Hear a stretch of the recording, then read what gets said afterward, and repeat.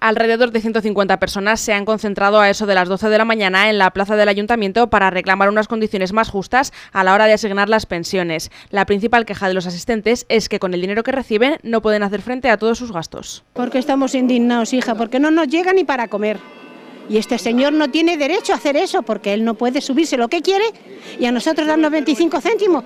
Pero ¿eso qué es? Si es una miseria y a convocar a todos los jubilados para ver lo que pasa con las pensiones, porque aquí en vez de subir bajamos. Estamos peor que, que nunca, chica no nos llega para nada la pensión con 60 euros, con 600 euros que cobramos.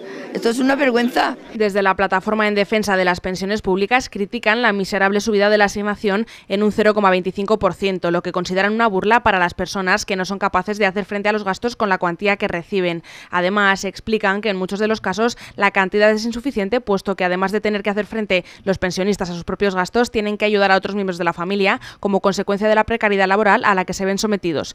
Rafael Rezabal, portavoz de la agrupación, explica que no les parece lógica que la subida de las pensiones sea de un 0,25% cuando otros índices como el IPC suben alrededor del 2 o el 3%. Esta concentración está orientada a defender el tema de las pensiones que, como todos sabemos, nos la están recortando no solamente las pensiones, sino que los demás derechos sociales que tenemos conquistados.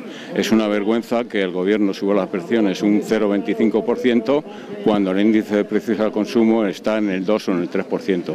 Llevamos unos años perdiendo el poder adquisitivo y hay que recuperarlo. Algunas de las demandas que realizan son que se legisle a la mayor brevedad posible para que sea el pensionista quien elija los 20 últimos años para calcular su pensión o que se anulen las reformas laborales que han llevado a la precariedad que consideran que hay en la actualidad.